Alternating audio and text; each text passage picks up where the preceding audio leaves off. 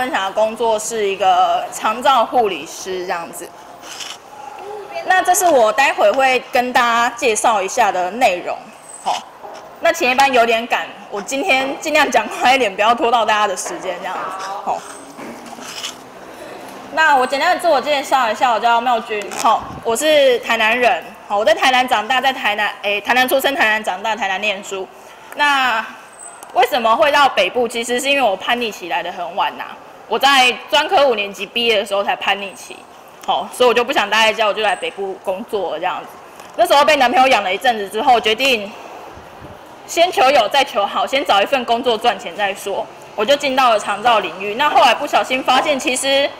这个工作也没有我想象中的那么的不好玩，其实我还蛮快乐的在这份工作里，所以就一路做到现在大概五年多了。谢谢。对。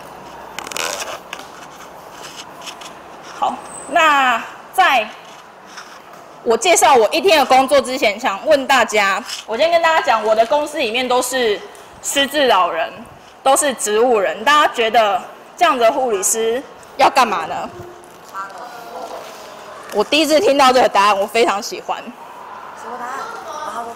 插管，但我插的管是气切管、鼻胃管跟尿管。插。插澡其实是看护在做的工作，对。是，你要非常有耐心的跟你的病人沟通。还有人觉得护理师一天是怎么过的呢？量血压。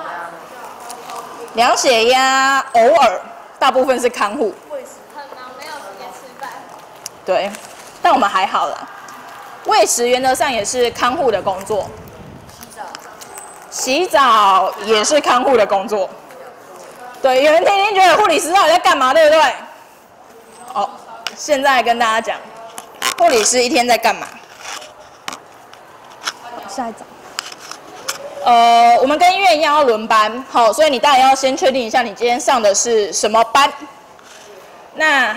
到公司之后就准备你今天上班要用的东西，每个人习惯不一样啦，吼。那准备完之后，我们就要交班。那在机构分成大交班跟小交班。大交班就是看护会跟我们护士交班，说今天这些病人发生了什么状况，是不是拉肚子，是不是便秘，是不是消化不好，好，或者是身上有什么红疹，好，或多了什么伤口，他会借由大交班来告诉我们护理师。那再由我们护理师去做进一步的评估。那我们护理师进一步的评估之后呢，我们就会在小交班，就是护理师跟护理师的交班，好，就是所谓的小交班。那交班完之后，我们就要去核对药物，去准备病人今天要吃的药物。那时间到了，我们就会给药，那是牛奶，对，那是牛奶。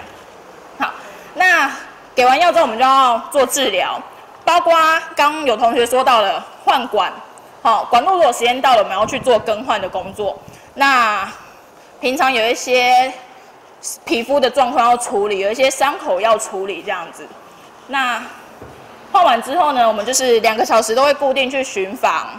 好，那在这中中间，我们会跟一些住民，好，其实我等下说的住民就是你们认知里面的病人啊，这样子，会跟住民有一些互动，这样子。那再就是你所有的评估工作做完之后，你就有很多的表单要写，包括呃，这是伤口，这是照顾日志、护理记录、疼痛，这只是其中的一部分而已。还有更多的表单是你要去填的。好，那除了这些之外，我们还有其他的工作跟医院比较不一样的，因为这些老人都会在机构里面住的至少七年。好，我有遇过二十年的。好，所以我们必须去训练它的功能，不能让它很快的就退化。所以我们有可能会教它刷牙洗脸，有可能会让它，它本来会扫地的，就让它继续扫地。好，那认知功能训练就是训练他们的一些你们平常在算的，呃，抄课文啊，算九九乘法啦，加减乘除啦。那这个部分会针对失智老人的部分，他们就会从原本会算，就变成你看到九加三等于九十三，三减二等于三减二，好，他的失智症就会慢慢退化成这样子，对。然后或者是比如说四乘二，它就会等于六，他们就会这样慢慢的退化这样子。然后还有一些肢体功能训练，就是你们要做运动嘛，他们也要做运动。好，我们就会给他们一些球类的运动，哦，棒球啦、足球啦、排球，只是这颗球变成气球，对，去训练他们的肢体功能，然后穿针引线呐、种花种草啦，或者是包包水饺，好，可以训练他们肢体功能的，好。那再来就是有一个跨专业的部分，因为在机构里面，你应该知道嘛。没有医生，对，没有医生，所以呢，我们只能靠着跨专业研讨，每三个月一次的时候，把平常我们护理师不能解决的问题，去，哎，医生会过来，营养师会过来，好，在这个时候，我们就会把病人的问题给他们，请他们去帮我们做解决，这样子。那会有定时跟不定时的抽血，这样子。那在机构比较不一样的，你看到这一柜。都是品质管理的东西，这是其中一个柜子而已，还有另外一个柜子也是这么的满。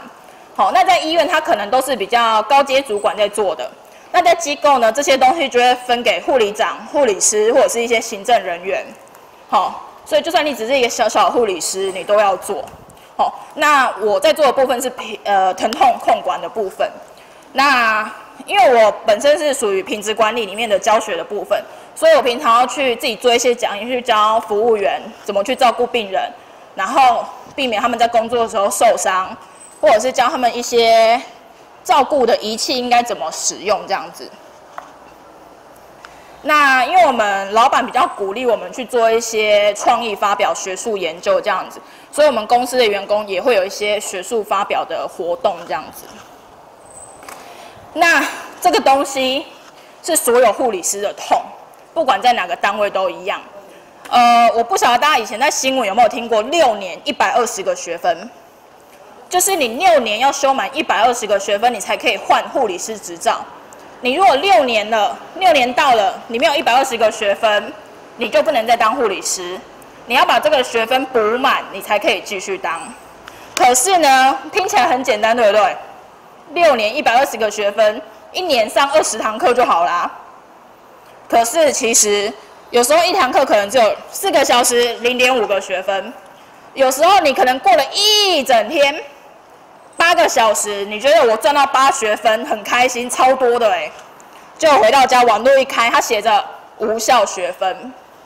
好，其实，在以前有很多惨痛的经验，就是到了要换照的时候，以为自己一百二十学分满了，结果学分数二十，一百个学分都是没有用的。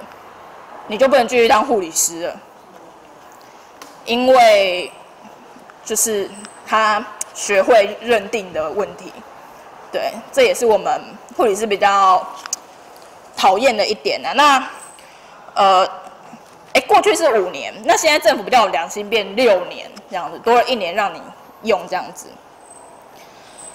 那其实，在我会喜欢这份工作，我不想要到医院，其实。有一个很大原因是在这份工作，我可以跟病人有很多的互动，对，例如他们会去拜拜，我们有一个宗教室，大家猜猜看，他们拜拜最常出现的愿望是什么？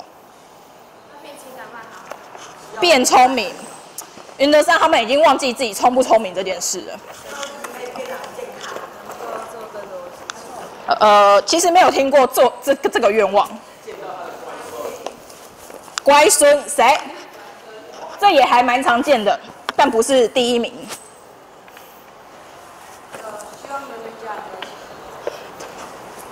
妈妈有在做这个工作，就是不一样。没有做，就是这个愿望。我想要回家，我想要跟我儿子在一起，这是最常出现的愿望。那。我也会跟他们玩一些小游戏。那其实我说过，这些住民他们都住很久，大家都像一家人一样。那这张照片我会拍下来，是因为这阿妈平常晚上都不睡，白天就一直说她头痛。这阿妈呢非常会按摩，其实我平常肩颈酸痛的时候也会公器私用一下，拜托她帮我按摩。那她那天就看到阿妈在揉太阳穴，说她很不舒服，她就很热心的。说，那我来帮你按摩。按摩完之后，那天我刚好值夜班，这阿嬷非常难得的睡了一夜的好觉，真的非常的难得。那这也是公器私用的照片。其实我们常常呢，会早上就去市场买一袋晚餐要煮的菜来，然后就叫他们帮我们挑菜。对，那其实这一方面也是生活功能的训练。那对他们都很可爱，他们有些人其实很喜欢拍照，然后他们也知道现在手机功能可以修图，可以把照片弄得很好玩，所以其实他们都会，哎、你来你来，帮我翕一张。然后我帮他拍完之后，我就会帮他们印下来，然后贴在他们的床头。一方面可以让他们认得自己的房间，那一方面也增加他们生活的趣味啦。那我们有鱼池，我们会带他们去喂鱼、看鱼。那有一天呢，这阿嬷心情非常的不好，我就带她出去看鱼。她就跟我说：“我不要看鱼，很无聊。”有人听得懂、听不懂台语的吗？都听得懂。好，没关系，听得懂就好。因为原因重现比较有趣一点呐、我就带他去看。我说：“那来看鱼啊，好啊。”伊讲鱼啊有啥好看？啊，袂了一啦。我说：“那袂了一，你跳了了就好啊。”伊讲袂使。我讲那袂使，迄鱼啊我咧顾的，跳了了就好。伊讲袂使，警察会来了。我讲袂啊，我也袂报警啊。他说：“好啦，无来看一下嘛好。”然后因为鱼，我们老板都养了好几年，到鱼池边看一看，哎、欸，袂歹哦，真大只哦，会使掠开食。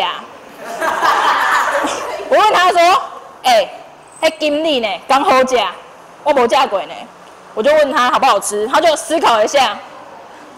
我老婆嫁过，我们家刚好食。就是每天都有这种很有趣的对话出现啊、然后这就是一个很爱拍照，之后常会叫我帮他照相的阿妈。然后其实我们也会有一些尾牙的活动、节庆的表演这样子。那这是我们尾尾牙啦，我扮一只小狐狸，对。那这是就是同事的同事的演出这样子，然后也是就是爱拍照的阿妈这样子。好，反正就是都是一些节庆活动啊这样子。那我也从事这份工作，其实这是我爷爷，他在我国三的时候出了车祸，那。他转了几次院之后呢，他到了一家蜀立台南医院，隔壁就是我的学校。那时候每天经过，我妈就跟我说：“你这个人哦，我我跟我妈讲台，她说你这个人吼，做贫惰的啦，后盖一定找无头路通做，无你也考这间好好好啊。”有证照不怕没工作做。我那时候其实也应付我妈，我没有想那么多，因为我已经跟我同学约好要考一所高中了，我就跟我妈说随便啊，到时候再说。后来呢，机测成绩出来了，我就把志愿卡给我妈，我说要填什么学校。我妈说我不管你填什么，反正第一志愿就是台南护专就对了。所以呢，我第一志愿就填了这所学校。然后再按一下。国立台南护理专科学校，哦啊，如果你要靠着这张照片去找这张学校，你可能找不到，哦，因为我们学校已经是六七十年的老学校，所以在前一两年有翻整个翻新过了，现在完全长得不一样了这样子。所以呢，我就是在这间学校毕业的，对。那这一叠书，这一叠书是考执照要考的书。总共五大科目，五大科目有这么多的书要念，那其中不包含执照不考的科目，所以其实五年把非专业科目跟选修的科目加起来，其实高更多啦。那所有东西念完之后呢，你就要出去实习，哦，出去实习，实习会有一年的时间，哦，那这也是在护专五年里面最多人退出护理科的时候。因为你可能每天被学姐电，每天被老师电，每天报告写到两三点，老师还是觉得你写的不够好。好、我们都我们以前实习都会说，如果你的报告一次过，只有一个可能性，叫做老师放弃你了。对，没有人在我们学校，至少在我们学校是这样子，没有人的报告可以一次过的。被推荐三次那是基本的，推荐十次是很常见的事。好，所以其实很多人在这个时候会打退堂鼓。我每个科，你是说哪科吗？这科这科是台南新楼医院的妇产科。对。我在哪里吗？差很多吗？这一个。差很多吗？还好，还好嘛，对，还好。现在变更漂亮。谢谢。我是不是应该分个糖果？这么甜，嘴巴这么甜。好，实习完之后呢，你所有科目都过关，没有被当，没有被挡修，你就可以顺利毕业了。好，你就可以拿到，对，对，好，对我以前是短头发的，就拿到毕业证书，拿到毕业证书，你有了这张毕业证书，你才可以去考执照。好，考执照呢，听起来很简单，但其实很难。你第一件事要拿到这张毕业证书，每个学校的毕业门槛不一样。好，像我们学校，英检中级要过，哎，初级初级至少初级要过，你才能毕业。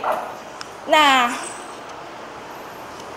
你除了拿到毕业证书，你还要有一张实习的实数证明书。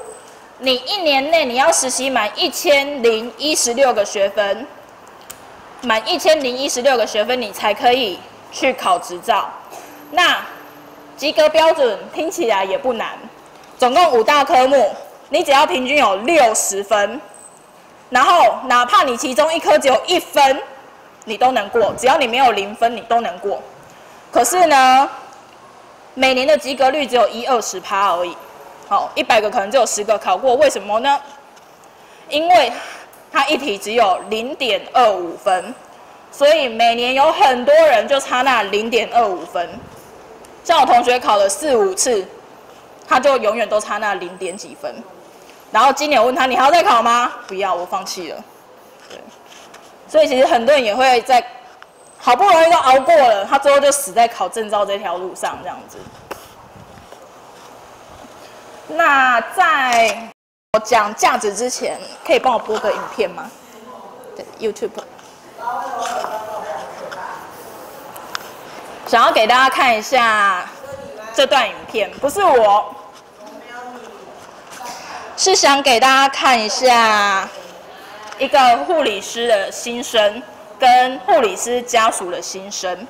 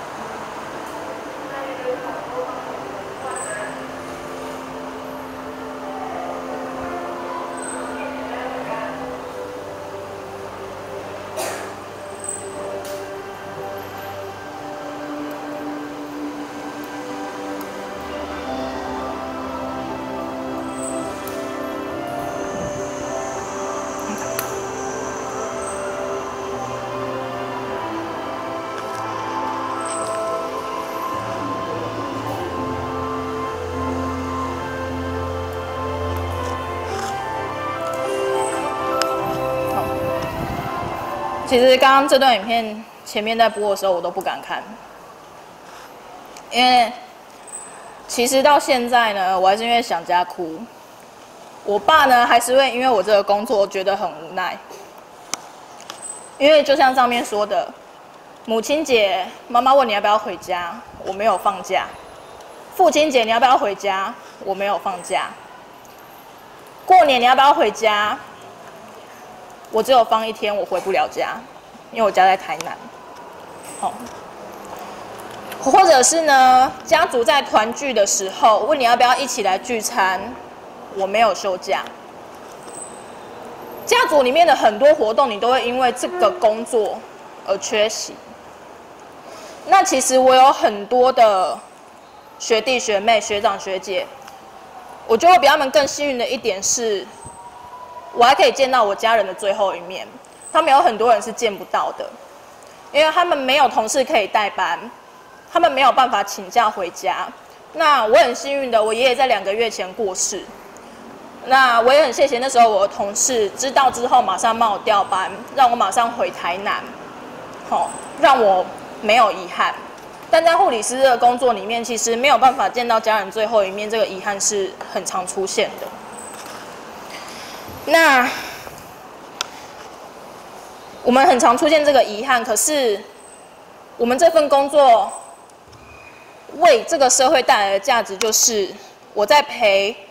每一个老人家，每一个病人，每一个患者，走完他人生最后的一条路，我没有办法陪我的家人走最后一条路，但是我陪着这些陌生人走他们人生的最后一条路，让他们这条路上有人可以陪伴他，让他可以很快乐，然后有尊严、很舒服的离开这个人世间。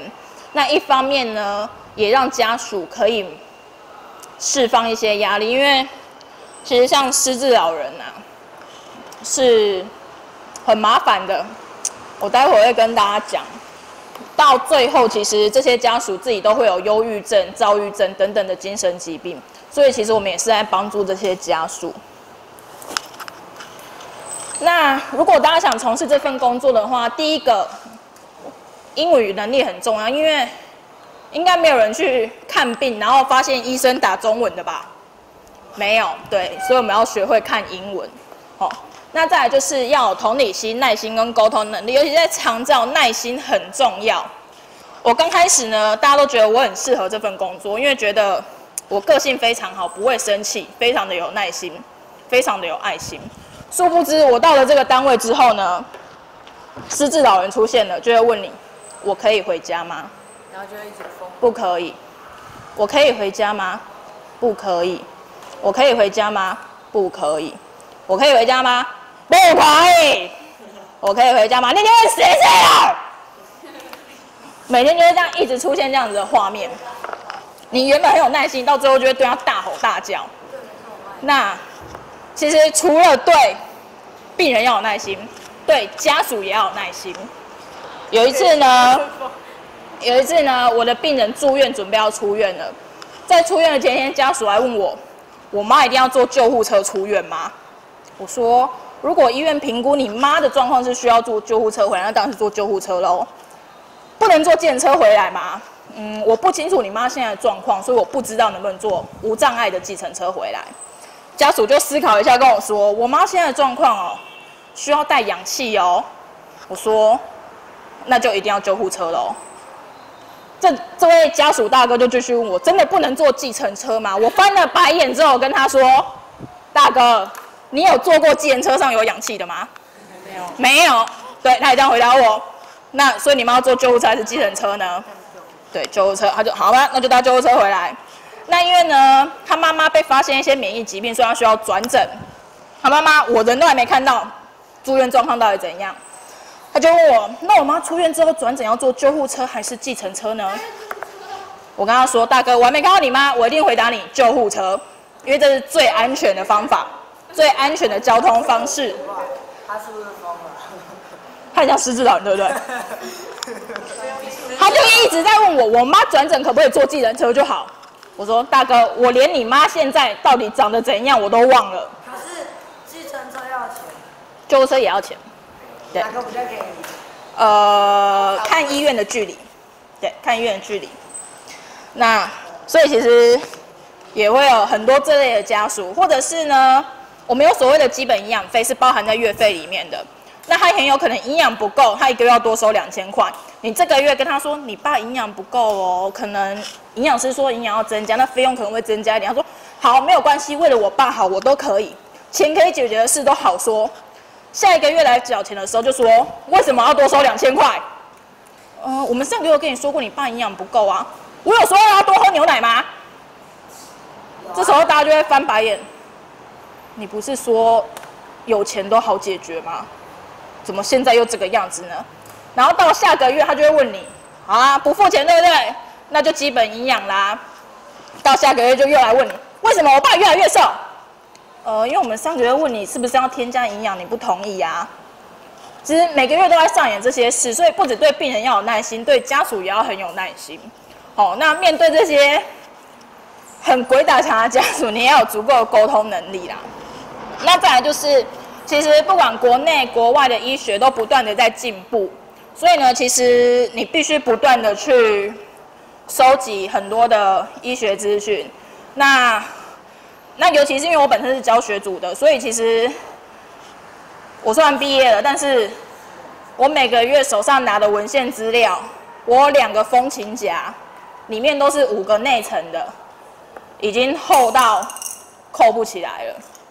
好，那呃，你们现在可能还不需要那么深入的去了解到期刊文献。如果真的对医疗有兴趣，你们可以去找报纸新闻的健康版，里面都会有一些医学新知，那是比较浅显易懂，你们可以懂的方式这样子。那再来就是呢，以前都会觉得护士、护理师啊，就听医生的话就好啦，医生说什么做什么。但其实现在护理强调是一个批判性思考、独立性思考能力，因为医生不是神，医生也会有头脑不清醒的时候，也会有没睡饱的时候，所以有可能明明睡前要吃的安眠药，他给你开到早上去了，或者是明明这个病人已经在拉肚子了，他还开软便药给你，这时候你就要去跟医生反映，医生，病人在拉肚子，你怎么还开软便药给他？然后医生说，哦，我开错了，好，对，是，所以我说医生不是神。所以呢，如果照着以前年代那种南丁格尔观念，医生说什么就做什么，你的病人就拉肚子拉到死了。好，所以现在要有独立性思考的能力。那再来就是呢，如果呢你想要了解更多的医疗环境的话，你可以去上网 Google，你就打医医疗环境，然后影集，其实就有很多跟医疗环境相关的一个，呃，这是跟疾病比较相关的，对。那如果想一了解医疗环境的话，其实这几部都是还不错的影集，这样子。那尤其是《白色巨塔》，大家都知道，是刚上一班也在讲第六课，对，医作者就是个医生嘛，好，所以其实他描述的其实是还蛮贴近医疗环境的啦。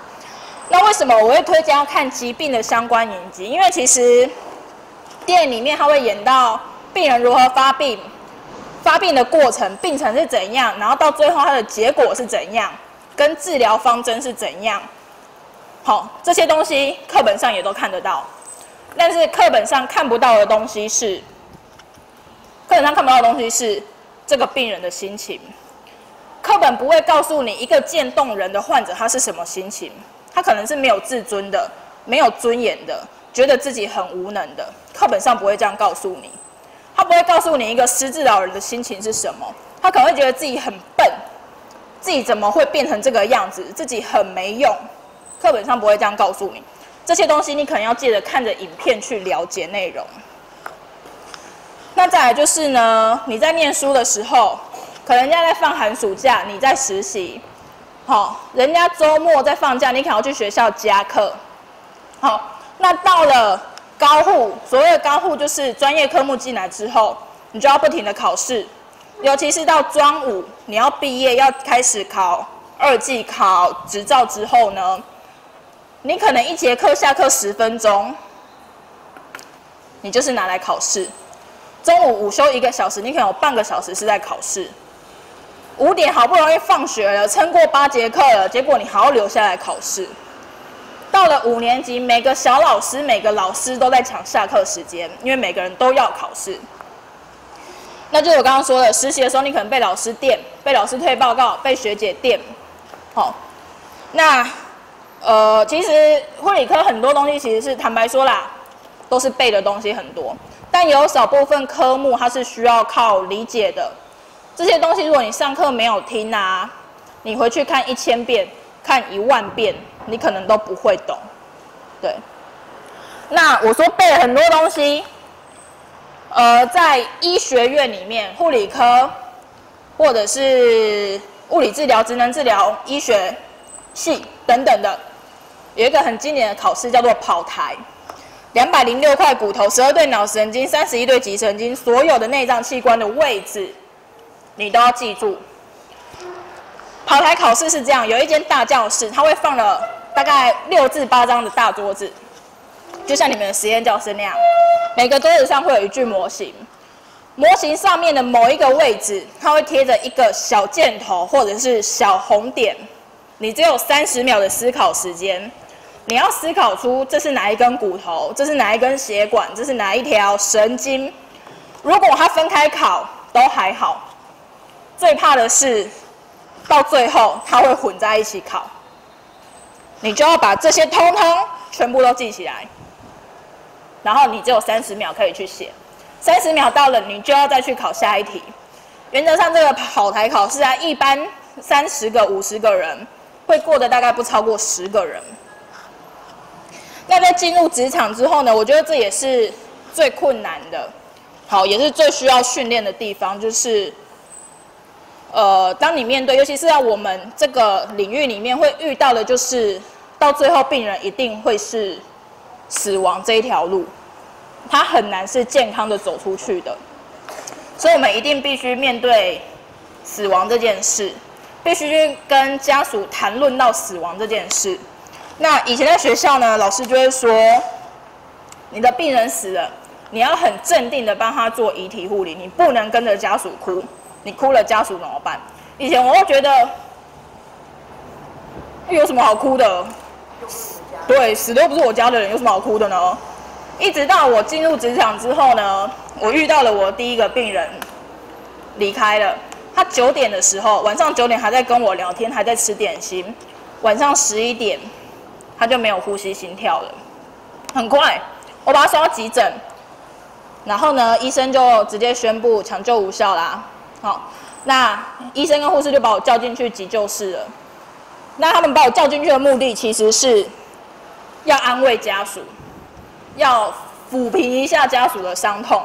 结果我进去急诊室之后啊，我跟着家属一起大哭，我就跟着家属一起站在那个老人家的遗体旁边大哭，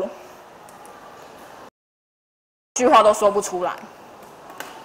其实到现在五年过，你问我会不会哭，还是会，因为毕竟。每个都住了五六年，甚至十几二十年，都像家人一样。他们每一个人的离开，对我来说都是一个家人的离开。那我现在学会的只是，我不在我的工作场合上哭，我不在家属面前哭，但是我回到家，我想到这一个病人，我可能还是会哭。那同学有发问一些问题，当护理师一定要很高的学历吗？其实不用。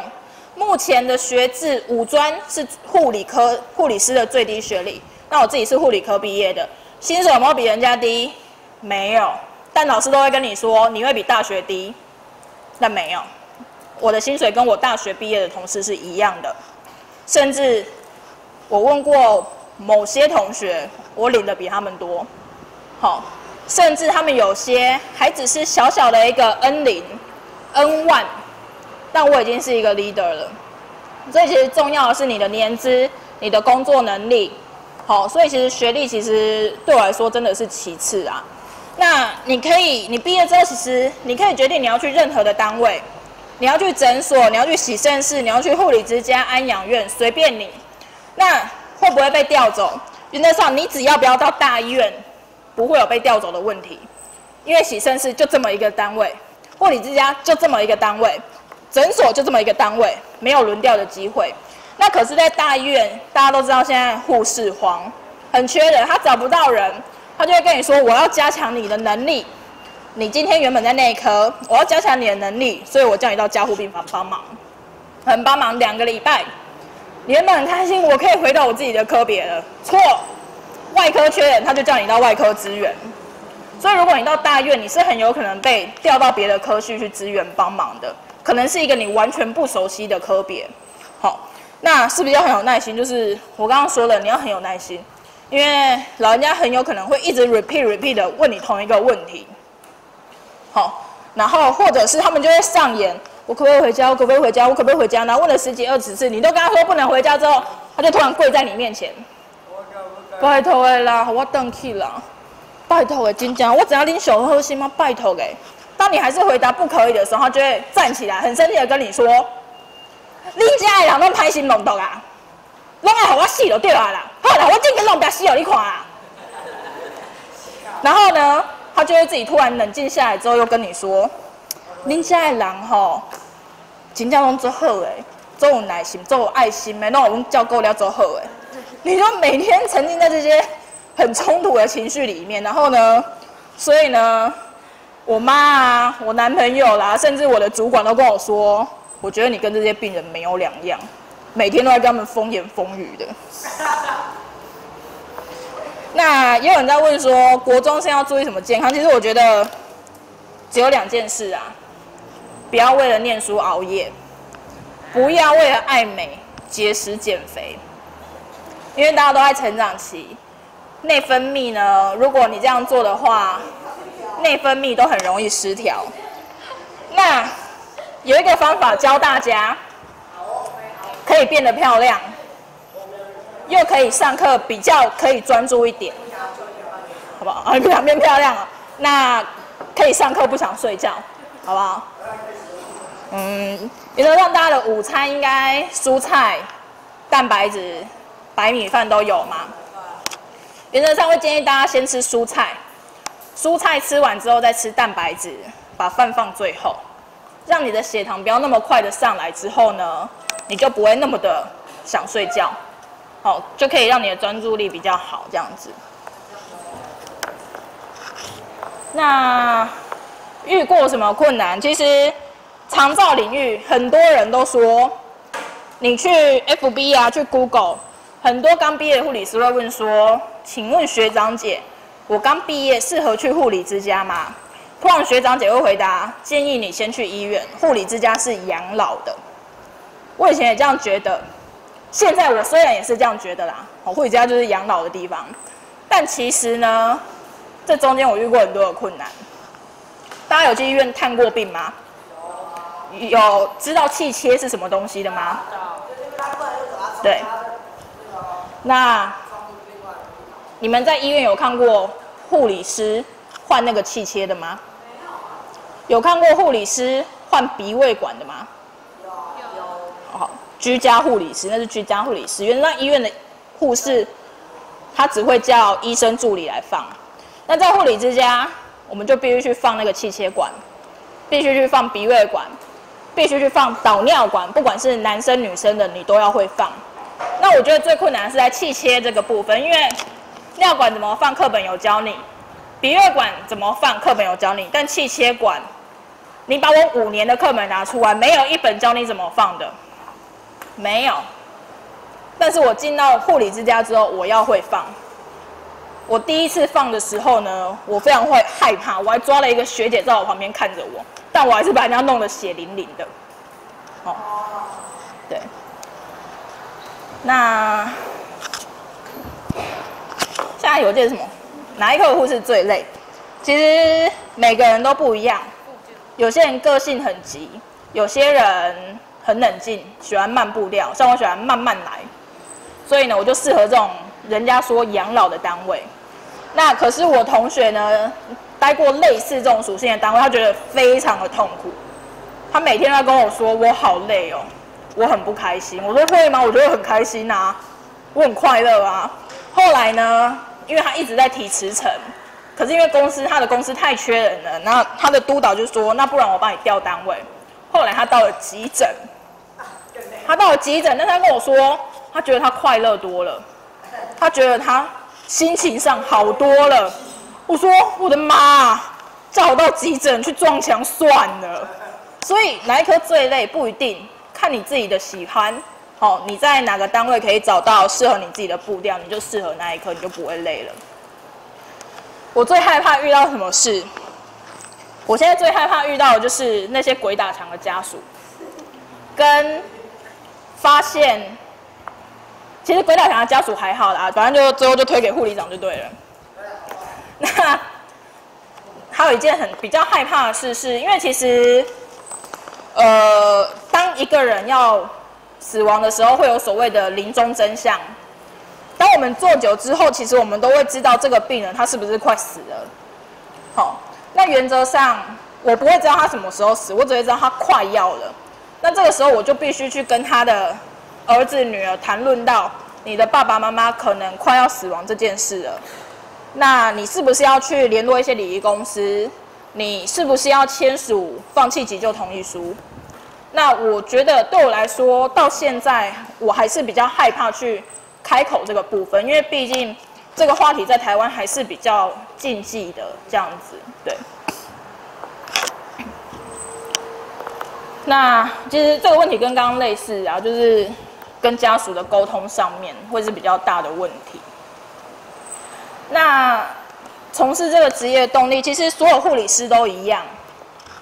我们其实只要病人一个体谅啦，只要病人说一句“谢谢你辛苦了”，其实我们就很开心了。那其实我在这个领域里面，其实我也遇到过很多的挫折，我也被学姐电过。那其实我可以一直这样一路走下，其实就是我跟我的著名都很像好朋友。对我们会长都说他们是我的宝贝。就是每天跟他们聊天，然后看到他们很开心的笑，然后看到一个原本只能放着鼻胃管，然后被我们训练到可以自己吃饭的人，或者是放尿管的，到可以自己上厕所，不能走的变能走的，这都是我们的一个动力。或者是一个原本不信任你的老人，变得很信任你，所有治疗非你做不可，就是指定要你要等你来他才吃，要等你来他才擦，这就是我最大的动力。那为什么从事这个职业？其实就是，就是前面讲的误打误撞啊。原本只是想要赚钱而已，后来就做出兴趣了这样子。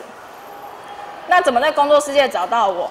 进入一零四工作世界之后呢，找到职涯志工，那打我的名字就可以找到我。所以如果有任何问题，也都可以到一零四里面找到我。那其实护理师的什么宣言呢？很有名的南丁格尔誓言，但是这东西看看就好。